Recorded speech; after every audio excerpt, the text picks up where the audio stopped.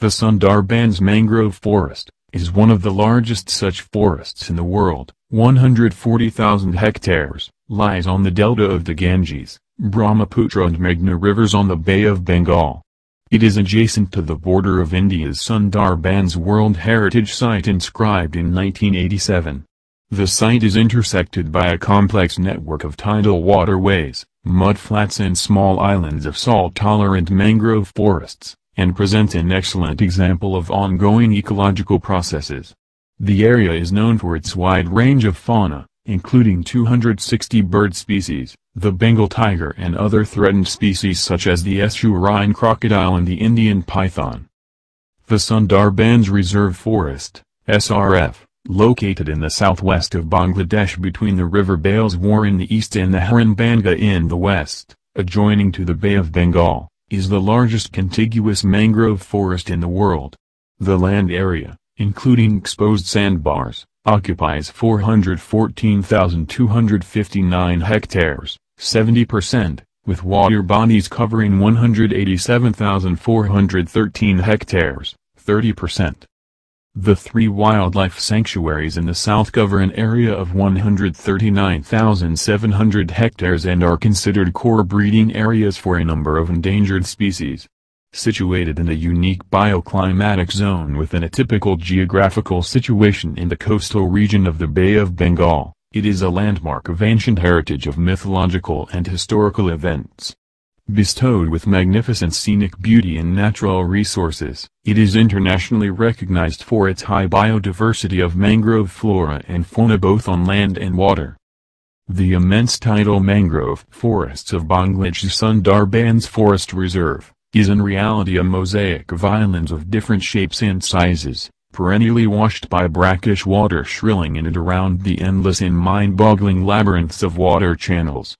The site supports exceptional biodiversity in its terrestrial, aquatic and marine habitats, ranging from micro to macro flora and fauna. The Sundarbans is of universal importance for globally endangered species including the Royal Bengal tiger, Ganges and Irrawaddy dolphins, estuarine crocodiles and the critically endangered endemic river terrapin, Batagur baska. It is the only mangrove habitat in the world for Panthera tigris tigris species.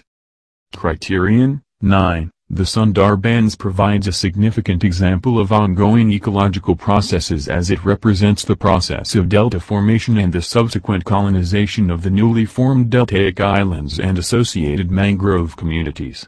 These processes include monsoon rains, flooding, delta formation, tidal influence and plant colonization. As part of the world's largest delta, formed from sediments deposited by three great rivers, the Ganges, Brahmaputra, and Meghna, and covering the Bengal Basin, the land has been molded by tidal action, resulting in a distinctive physiology. Criterion, X, one of the largest remaining areas of mangroves in the world, the Sundarbans supports an exceptional level of biodiversity in both the terrestrial and marine environments, including significant populations of globally endangered cat species, such as the Royal Bengal tiger.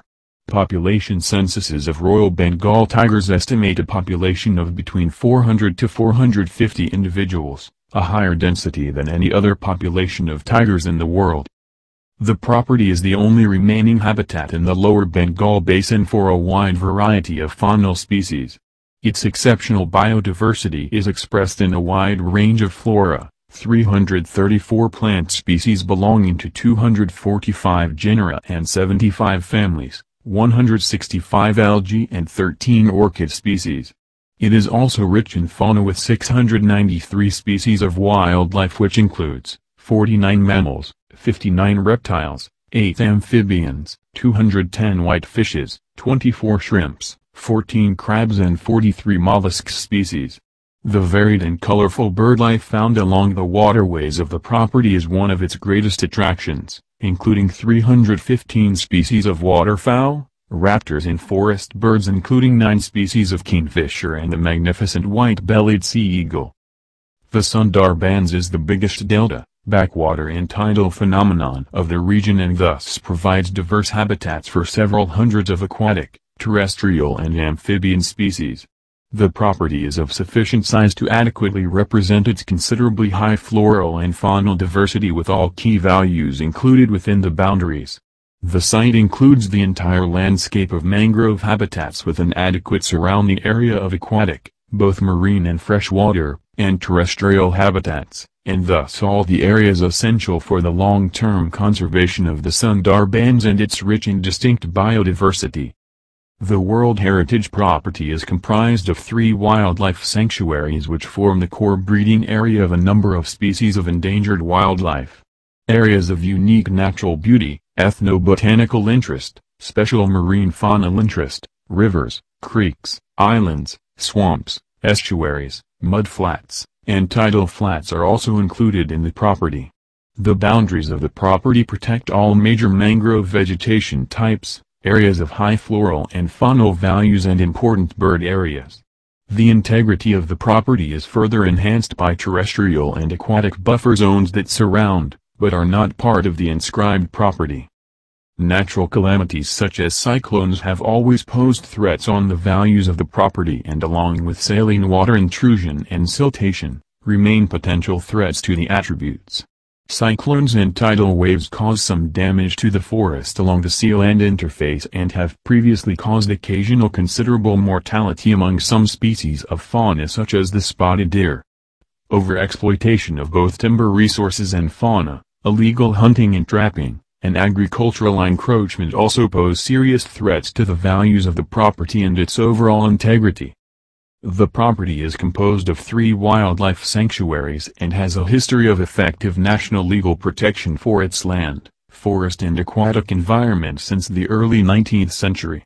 All three wildlife sanctuaries were established in 1977 under the Bangladesh Wildlife Preservation Amendment Act, 1974, having first been gazetted as forest reserves in 1878.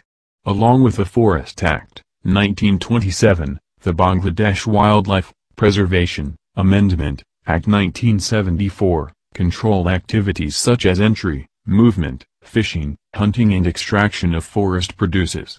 A number of field stations established within Sundarbans West assist in providing facilities for management staff.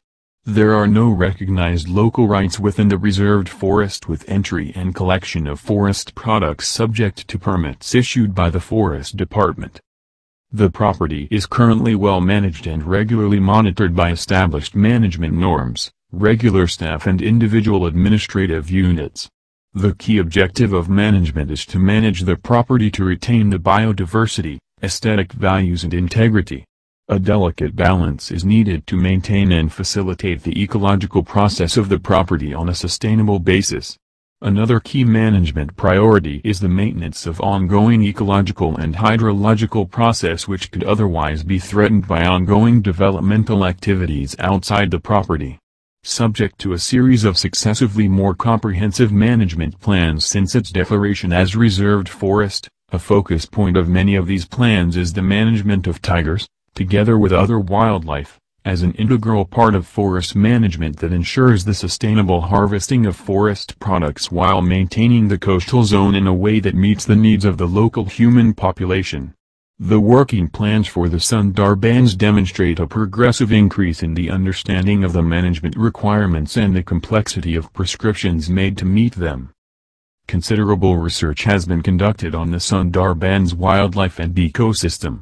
International input and assistance from WWF and the National Zoological Park, the Smithsonian Institution as well as other organizations has assisted with the development of working plans for the property, focusing on conservation and management of wildlife.